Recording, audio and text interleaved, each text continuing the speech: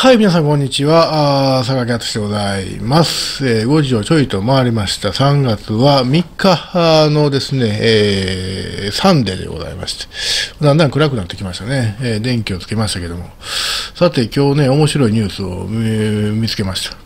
えー、JB プレスに、これは昨日、今日か、今日出た記事ですね、立花志音さんですか。日本人の女性ですね、えー、韓国医師大量辞職騒動の本質、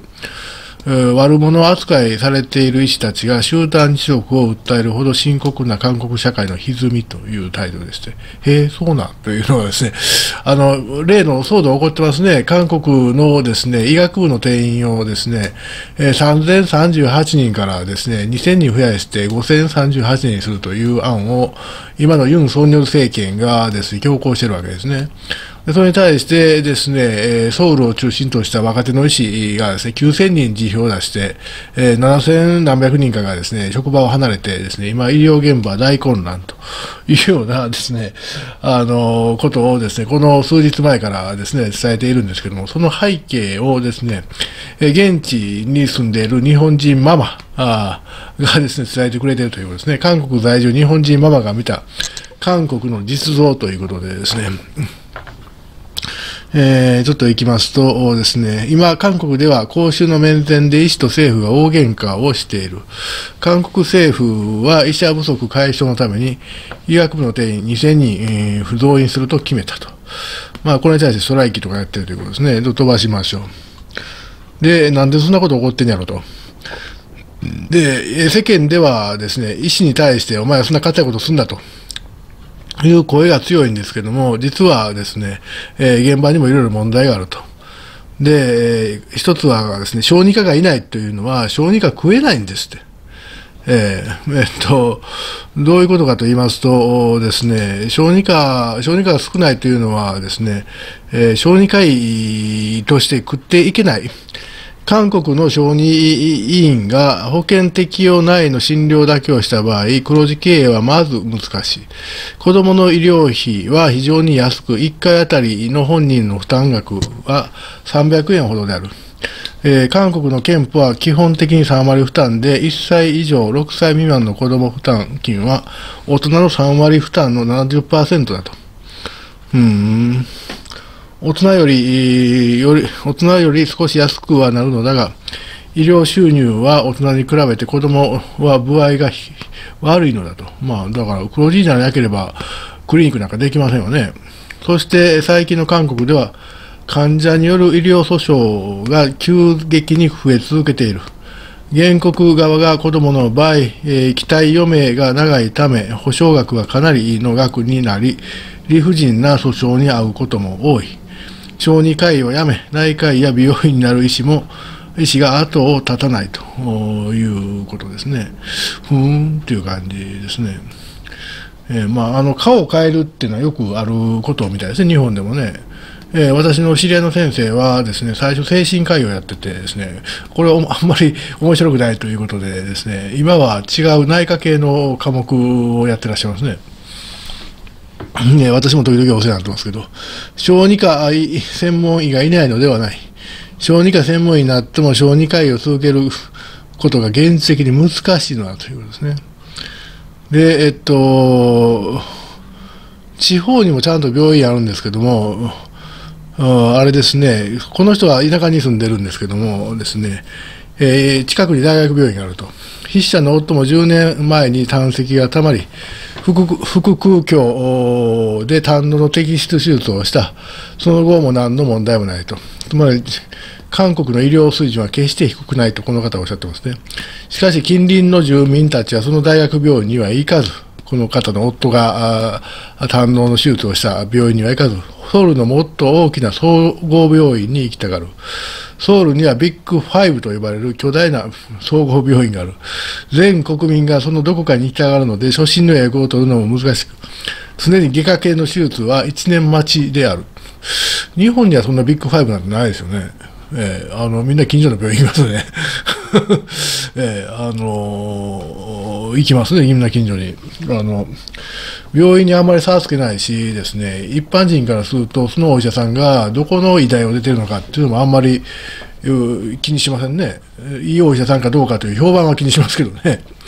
えー、でも向こうではですね、ブランドなんですよ、病院も。うん、韓国人はブランドや名声に弱く、意味もなく、身分不相応にレベルの高いものを望む。地方の大学病院のことは馬鹿にして、自分はソウルの一流の治療を受けるべきだと信じてやまない。まあ、そんなことはありそうですね。いつも言うんですけど、あの国というものはですね、えー、巨大なタワーマンションだと思っていただければ分かりやすいですよと。つまり全員がですね、常に見栄を張ってですね、あの、身分不相応の何かを望んでですね、で常に誰かとのですね、ヒエラルキーを気にしているわけでして、まあ、まさに、えー、日本で、日本のタワーマンに住んでいる人のですね、まあ、マインドですね、がですね、メンタリティというものがですね、見事にですね、そのまま投影されているようなですね、そういう国ではないかと私はいつも認識してるんですけど、えー、筆者の周りにもソウルの大学での手術を6ヶ月ほど待っている人が何人かいる。それではソウルに大病院があって、え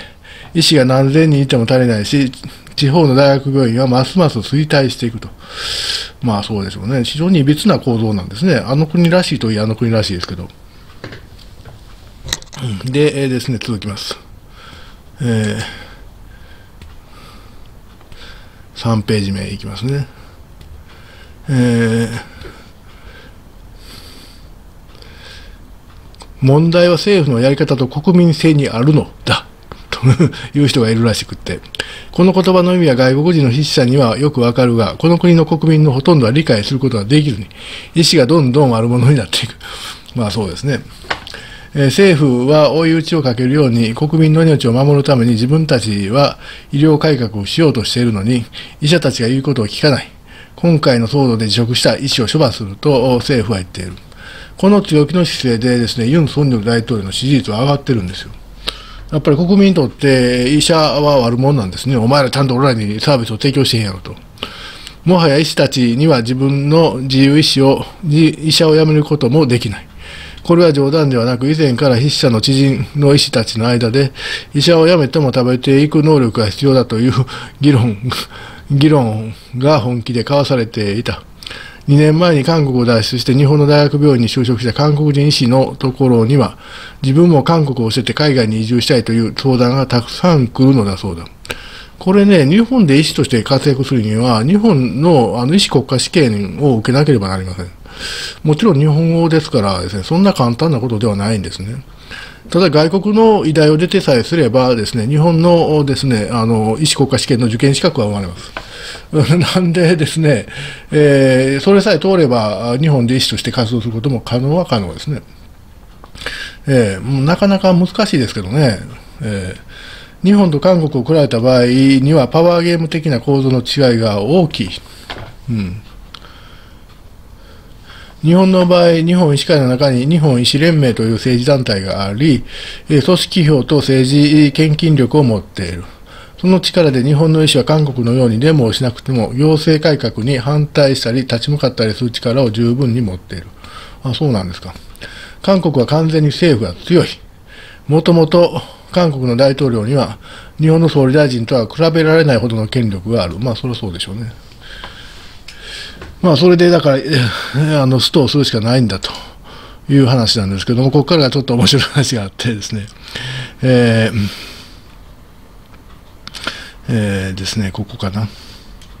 えー、興味深い話を聞いた。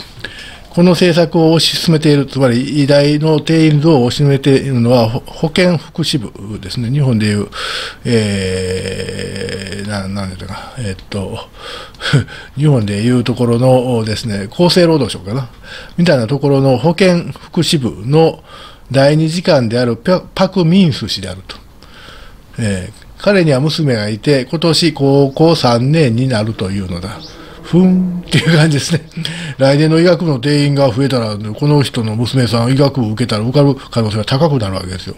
今までの1.6倍ぐらいですね、高くなるわけですね。えー、これは果たして偶然なのか。そうでなくても韓国ではムン・ジェイン政権時の法務部長官だったチョ・グクの娘が不正に医大入試、入学をしても大問題になった。彼だけでなく、超、町長は某大物政治家の息子も不正な推薦入学で医大に入り、しれっと医者になったという噂が今でも絶えない。結局この国は大統領や一部の官僚たちが大きな権限を握りながら国民を振り回している国家なのだ。その振り回されている国民が直接投票で大統領を選出している国が大韓民国である。韓国の内情が見えるたびに思うことは、この国は民主主義をやってはいけない国だったのではないかということだと。いや、私もそう思いますよ。はい。まあ、こんなことが書いてあります。えー、このですね、JB プレスの1ページ目貼っておきます。今、飛ばし飛ばしどうでしょう？全体の3割ぐらいを読みました。なかなか面白い記事です。えー、韓国医師大量辞職騒動の本質という記事でございました。はい、皆さんどうもありがとうございます。